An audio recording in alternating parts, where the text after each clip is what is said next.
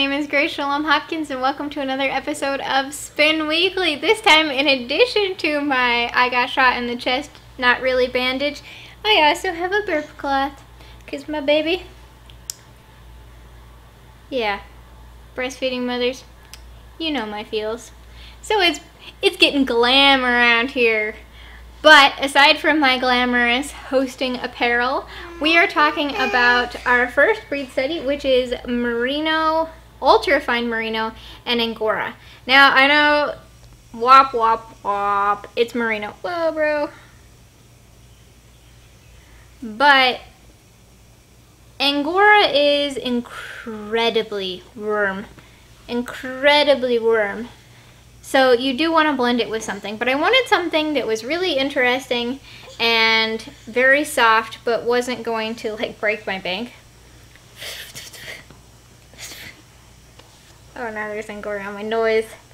Yeah, gonna blow it off?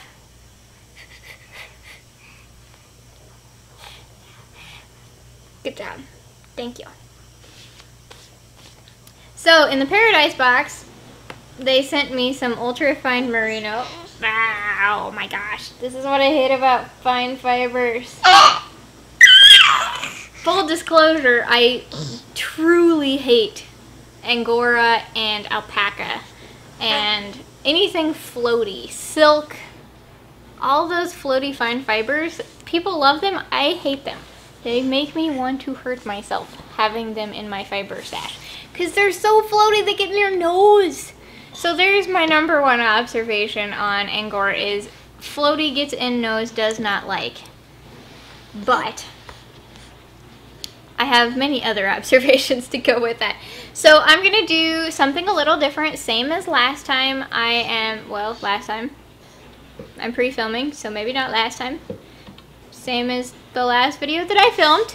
I am going to talk a little bit and then I'm, no, it's not going to be the same. Alright, so I'm going to do something a little different because you guys know I've been playing with the format of these episodes a little bit. So I'm going to tell you the history of...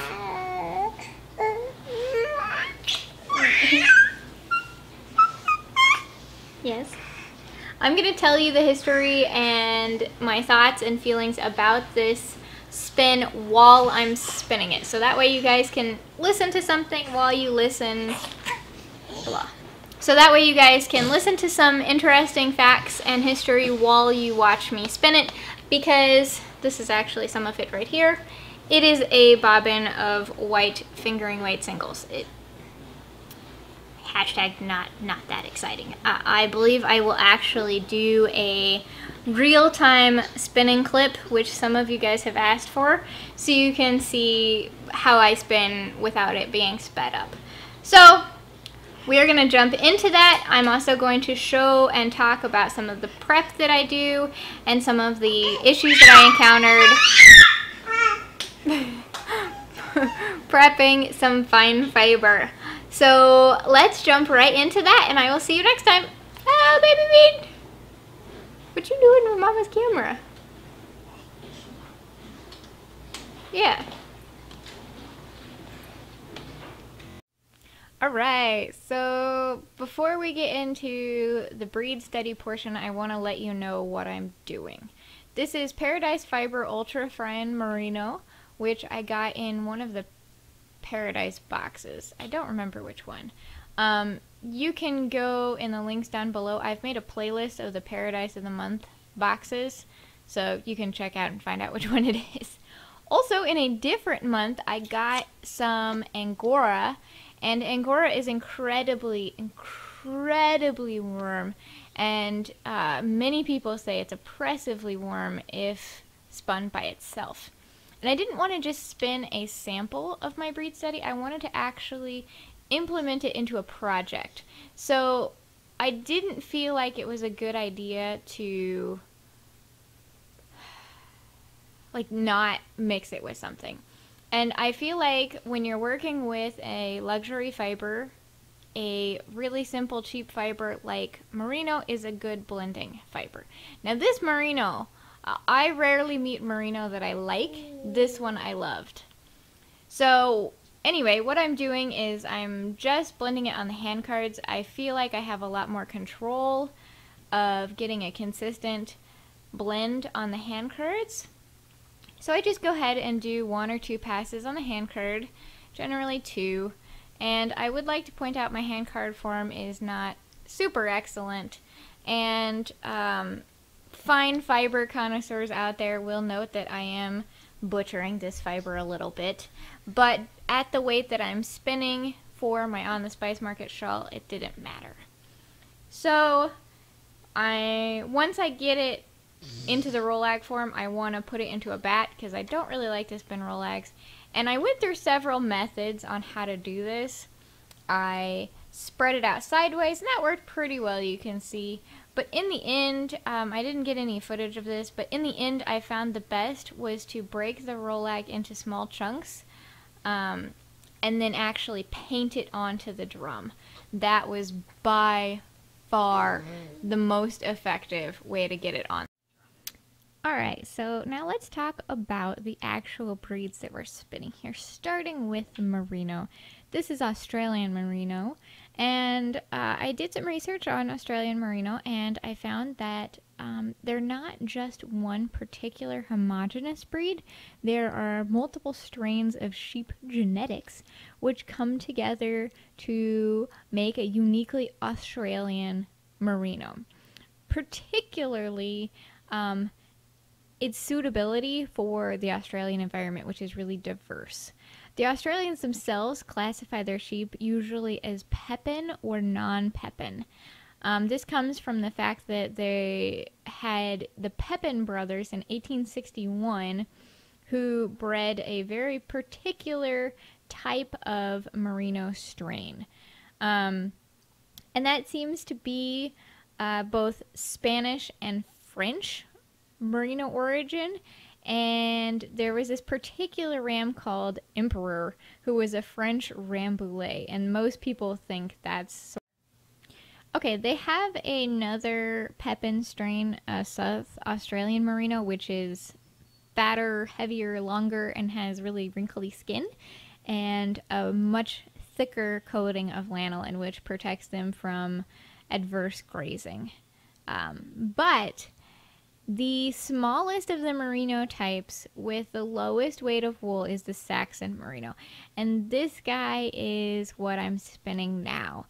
It is the softest micron, fine, bright white. It's it's lovely.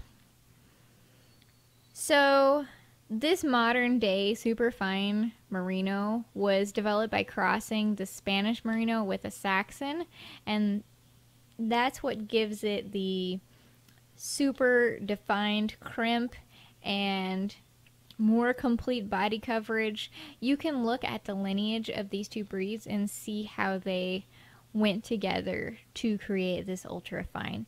Specifically, they have a U-shaped wave in their crimp uh, that are tighter together and uniform across the entire length. That's one of the things that they judge a good merino fleece off of. Okay, so that was a quick look at Australian Merino. There's so much more to learn, but let's talk about Angora now. Um, Angora rabbits, this is English Angora. They come in several colors, and their coat is characterized by a small amount of guard hair in proportion to the actual wool. Um, so it has less haloing than other breeds of merino because of this factor. The rabbits were actually popular with French royalty in the mid 18th century, and they spread across other parts of Europe by the end of the century. They first appeared in the United States in the 20th century. Um, and I wasn't able to find when they went from more pet to more fiber. Um, but right now, they're mostly fiber bearing animals and we're show rabbits. Okay, that being said, there are a lot of uh, ethical concerns about using Angora fiber because a lot of places, particularly in Asia, um, they don't keep the animals in good conditions. However, I do have a video about the Angora industry that I'll link down below. It's just a short, uh, it's like five or ten minutes. And this woman says that she didn't encounter any of those adverse conditions, um, though without really going into it, it is common for Westerners to see only the best and exactly what they want to see. That's not that's not unusual in any industry. So, um, when spinning with Angora, I definitely recommend knowing your breeder and being really familiar with how they keep their animals because even if you don't consider yourself an animal activist, it is really important to support industries that are ethical and sustainable across the board because where they're willing to exploit animals, usually they're willing to exploit human beings. Okay, so um, the last thing I really want to talk about is how you harvest it. Um, it's plucked. Sometimes it's shorn and combed, but generally it's plucked.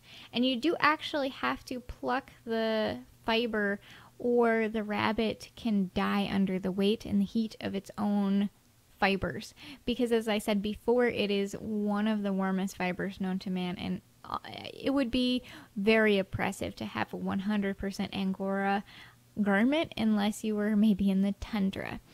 So that's why it's blended. Um, it's finer and softer than cashmere averaging at 11 microns in diameter. Um, it is a very fantastic fiber. Um, we're coming up to the end here, but I did want to say that in World War II, they made garments from Angora for bomber pilots, which I thought was cool. So now you're looking at the finished yarn as I'm setting it, and you can see that it didn't fluff, but it stays very organic. So I hope you enjoyed this video, and thank you for watching.